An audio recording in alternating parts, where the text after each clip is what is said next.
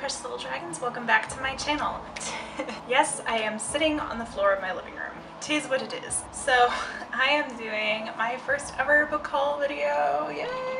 I have just finished my first day as a grad student and also got some books. So I did, I ordered these books a few weeks ago because, you know, things take a while to ship to Alaska, but I decided to do a thrift books haul, mostly because as I was organizing all of my books, I noticed I had a significant disparity of nonfiction books and even within fiction, non-fantasy fiction books, but I mostly got I mostly got non-fiction books for this haul. So if that's not your thing, chill. But I bought some non-fiction books that I thought looked interesting or that I've had on my wish list for a while. And this video is not sponsored, but I want to take a quick second to let you all know about thrift books because if you haven't heard of it before, it's super duper amazing. It's basically like a thrift shop for books online and they have free shipping over $10.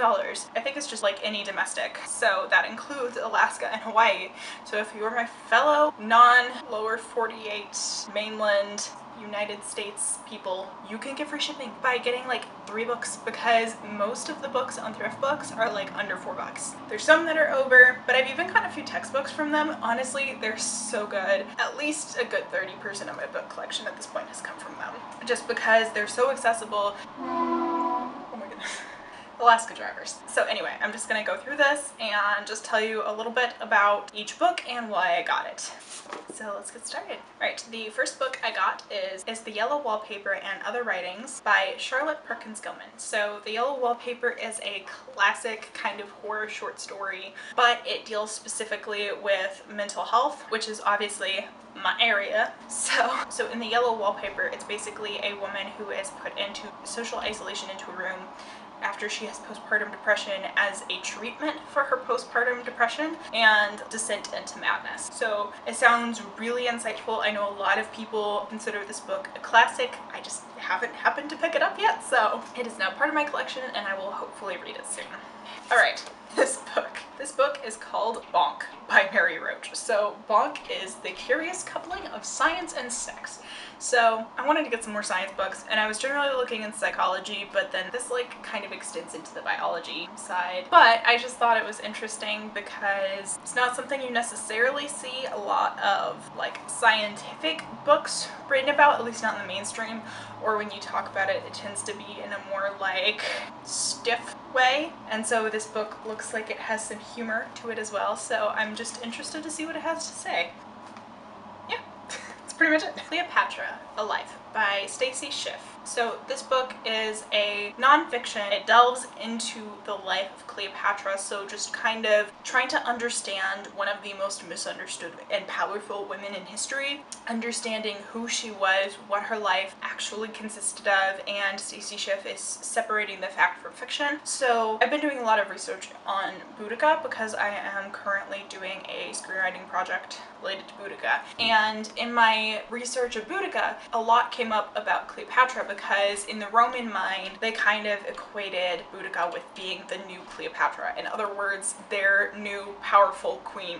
woman to hate because Rome had its good things that it did. One of the bad things was that it was extremely misogynistic. Anyway, so that got me into wanting to do more research into Cleopatra's life because we still have these biased perceptions of these women because all we know about them basically is what was written by men. And so our modern textbooks or modern viewpoints of these women are always going to be filtered through that lens and you have to do some interesting work to try and deconstruct what opinions and fact and biases and just all of this stuff contributed to in the life of one person. Um, another one that is interesting to look into is Agrippina the Younger. She's come up a lot in our research and also very fascinating to see how the Roman, generally male mind perceived her. That was a lot to talk about, but either way, I am interested to read this book. Musicophilia, Tales of Music and the Brain by Oliver Sacks. So this is written by Oliver Sacks. He's a physician. So he's most famous for The Man Who Mistook His Wife for a Hat, which is also in here. But he's a physician, written a lot of famous books, but music and psychology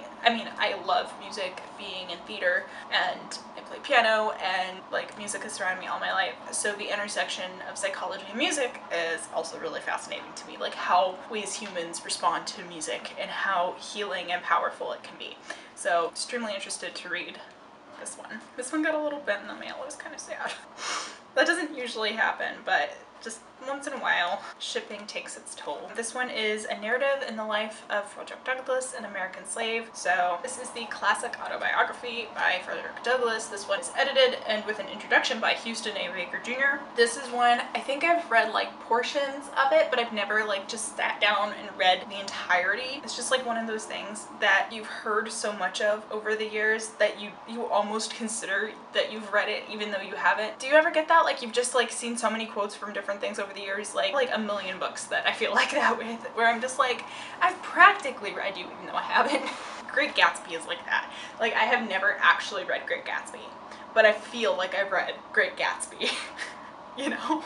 Anyway, I do actually want to read the whole thing, which is why I got the book. All right, another Oliver Sacks book, The Man Who Mistook His Wife for a Hat. I feel like this is kind of the book that people think of when they think of clinical tales. I feel like this is really well known even outside of clinical circles, so outside of the psychologists and the psychiatrists and the counselors, like this book is still pretty popular, which I think is kind of interesting, like just, you know, and I think part of it comes from everybody likes to hear an interesting story.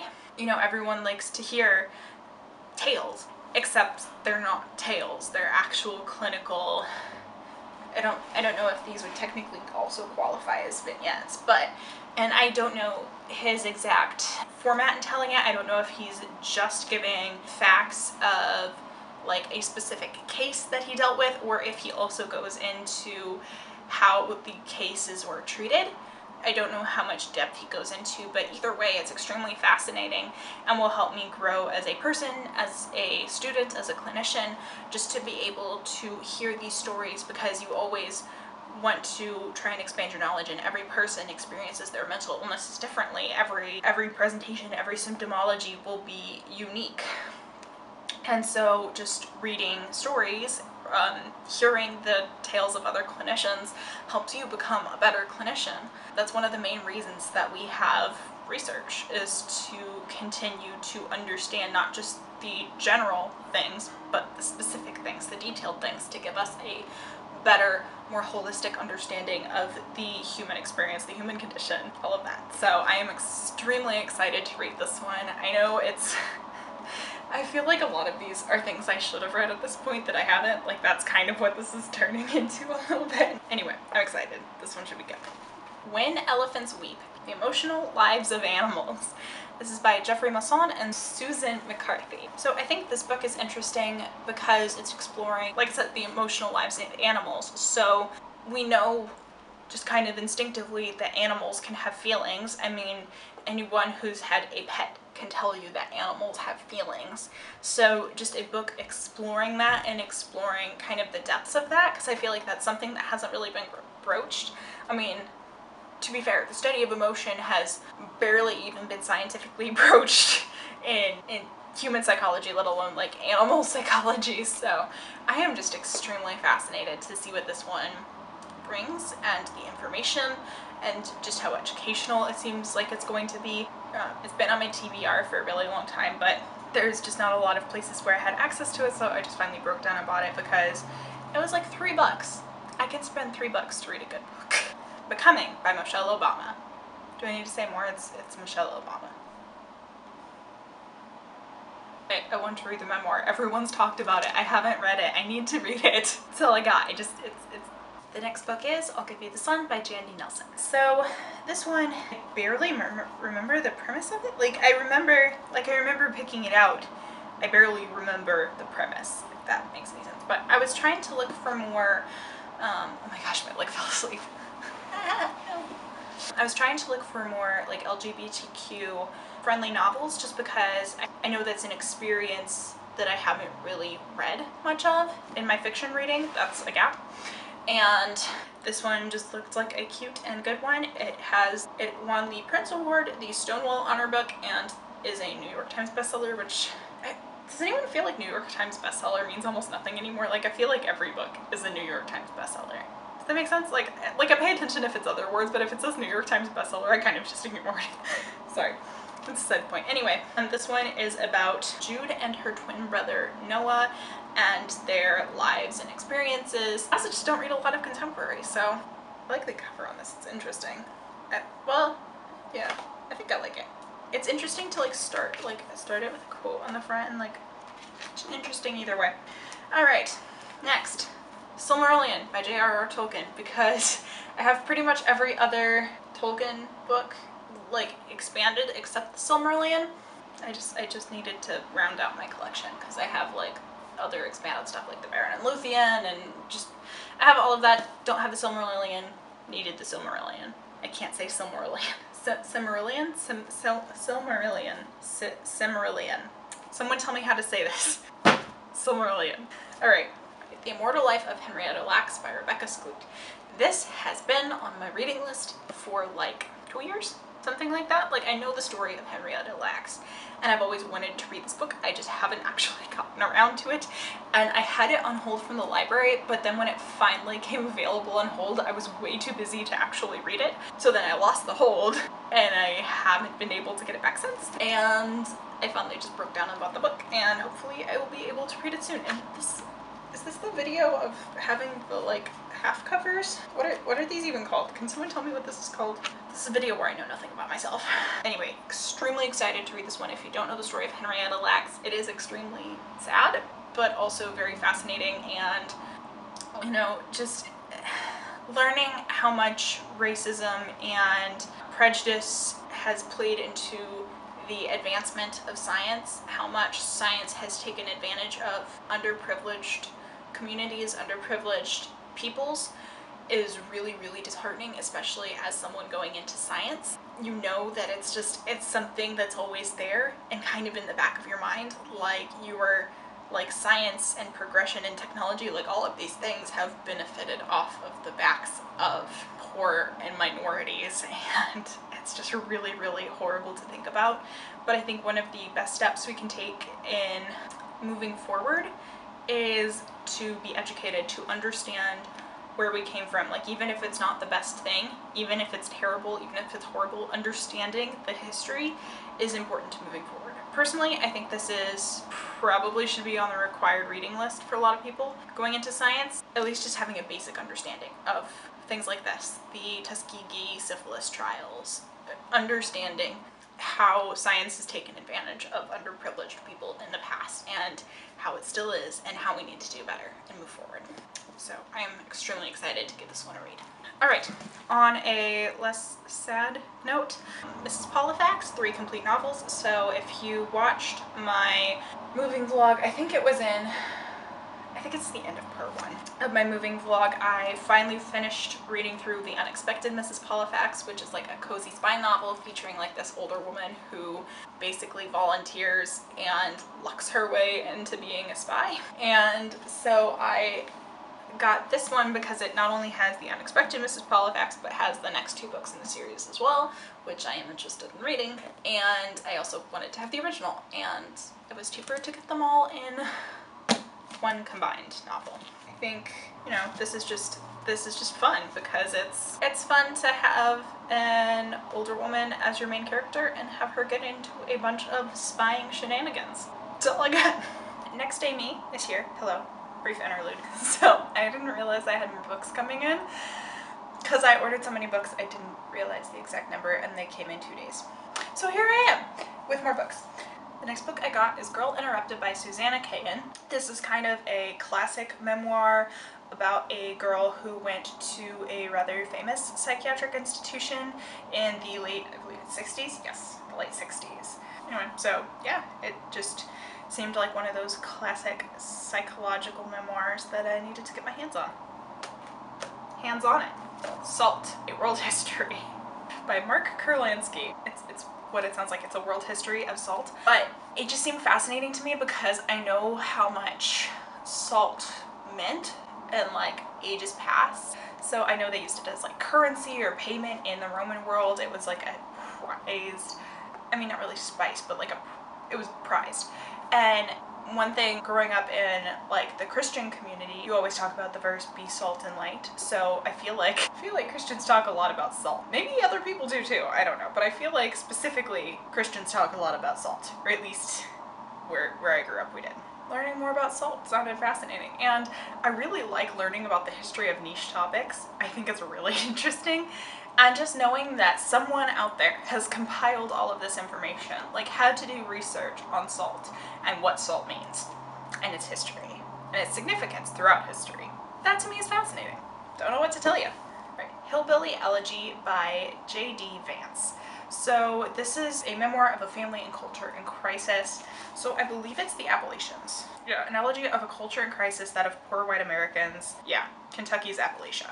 I just thought it looked really interesting. Now, obviously, like I said, I'm going into rural psychology. Just understanding the challenges and plights of rural Americans in general, I feel like it's something that's often extremely ignored. Because, you know, a lot of times even in research, you know, your institutions are in urban areas because that's where people and resources are. So it's just an easy to look over culture and easy to look over demographic. And so the more that I can learn and read about it, the better.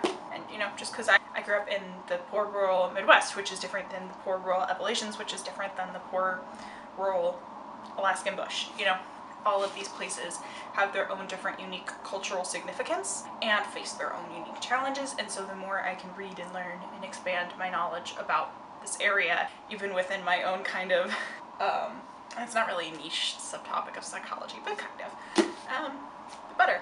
So I'm very excited to read this one. The Laramie Project by Moises Kaufman and the members of the Tectonic Theater Project and the Laramie Project 10 years later. I'm just to read the back because this one has like history to it. Oh, it's bookmarked. Interesting. I like that. So I guess now I get to find out what the person who had this book before me thought about the Laramie Project. Interesting. Anyway, so on October 7, 1998, a young gay man was discovered bound to a fence outside Laramie, Wyoming, savagely beaten and left to die in an act of brutality and hate that shocked the nation. Matthew Shepard's death became a national symbol of intolerance, but for the people of the town, the event was deeply personal. In the aftermath, Moises Kaufman and members of the Tectonic Theater Project went to Laramie and conducted more than 200 interviews with its citizens. From the transcripts, the playwrights constructed an extraordinary chronicle of the life in the town after the murder. Uh, so actually, I don't think before I saw this on Thrift Books, I had heard of the Laramie Project, which, or if I had heard about it, I just hadn't retained the information about it, which personally I consider a great grievance considering I am in both the psychology and theater circles.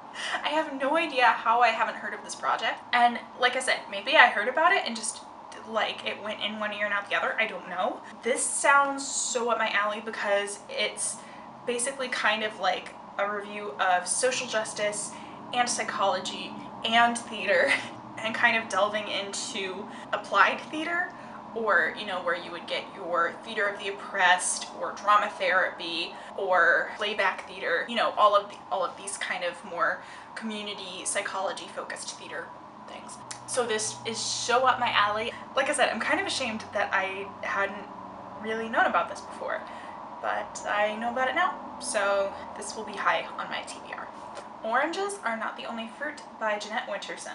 So this is a memoir of a girl that was adopted to and grew up in an evangelical Christian household that later discovered she was gay and her process of coming to terms with her own sexuality and just how that played into her cultural upbringing, her spiritual upbringing, and her life and how that affected everything and how it impacted her faith. This is a very deeply uh, personal topic for me I feel like everything is very polarized when it comes to dealing with LGBTQ matters and the church. And I don't know what this book is going to contain because it's a memoir, so it's obviously Jeanette's own personal experiences.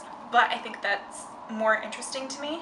I feel like a lot of LGBTQ and church issues get heavily, heavily politicized. And we kind of look over individual experiences of people, how they have personally had to they have had to come to grips with their own sexuality and their faith.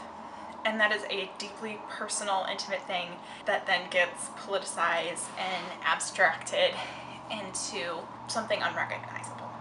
And it feels important to me to get the views of other Christians who have walked through this themselves. Anyway, I'm very, very excited to give this a read. In the Land of Invisible by In the Land of Invisible Women by Kansa Ahmed MD. This is a memoir about a British Muslim woman's journey as she went to Saudi Arabia as a female doctor and her experiences. I feel like that's uh, interesting because I feel like again it's one of those those things that's heavily politicized whether you're talking about just Islam in general or whether you're talking about or the experiences of Muslim women in Middle Eastern countries like Saudi Arabia. And I feel like you often don't hear a lot of personal perspectives. It's again like the book before where you hear a lot of talk about it. It gets very abstract and you don't focus on the personal experiences of people who have lived these situations, lived these lives. So I don't really know what this book is going to contain because I haven't read it yet, but it has been on my TBR for a while and I decided to finally pick it up. That's all I got. I am very fascinated what this is going to look like. All right, last one. Dear Martin by Nic Stone. So this is one of the few fiction books that I got in this haul because like I said I was focusing on expanding my nonfiction. And this is basically the story of a young African American boy who faces police violence, police brutality, and even though he, you know, escapes the incident, he is emotionally traumatized by it, emotionally jarred by it, and he begins writing a journal to Martin Luther King Jr. and he's asking all of these questions. And this is like a modern novel, so it's not like he, like he's starting a journal and just like theoretically asking Martin. Oh my gosh, I can't speak words today. But you know, he chronicles his experiences, his questions, his traumas in this journal to Martin. Um, so I believe, yeah, okay, so it, it, it's still split into chapters, but it has the journal entry format all throughout as well. This is just something I'm very interested by. I have I haven't really read any fiction books that deal with modern experiences of being black in America and I really haven't read anything that deals with the specific aspect of police brutality or, you know, anything like that. But obviously that is extremely relevant and I want to expand my knowledge and my empathy. And so I have seen a lot of people talking about this book. As mentioned, it's YA, so it's not necessarily, you know, it's not going to be a long read, but I know that it, I know this is going to be impactful. I'm excited to read this one. I've heard many, many good things. Yeah. That's all I have for now. Either back to my outro from yesterday or back to whatever from yesterday. I don't know. Anyway, that's all for now. Alright, so that is my first book haul video. I hope you enjoyed it. If you're looking for a way to get books cheaply, I would highly recommend you check out Thrift Books. Seriously, they are such a good resource. Oh my gosh, I cannot say it enough. Again, not sponsored because duh. I feel I feel like that's like weird to say. Having to say you're not sponsored when you have under 50 subscribers feels weird, but I feel like I should I feel like anytime you praise something super highly now, you have to say it because otherwise it sounds like you're sponsored, you know? Anyway, that's all I got. So, thank you so much for joining me today. I know this was a little different. I didn't really do any makeup. I didn't really... I mean, I talked about books, so, and it's kind of a TBR video. I don't know, it just feels like so normal of a booktube video to do. I'm like, oh, I did a normal video. It feels so weird. This is out of the ordinary. kind of hipster am I? Anyway, I hope that if you are in school, you are doing well, you are ready and prepared as much as you can be, you are ready to thrive and survive in this really weird pandemic semester. You got this. You're gonna thrive, you're gonna do great, it's gonna be amazing. You'll learn something, hopefully. It'll be good. We got this, guys. Just take a deep breath, relax, we got this, it's gonna be okay. It's gonna be okay. Thank you so much for joining me today. I love you all so much. Stay magic. Keep reading. Goodbye.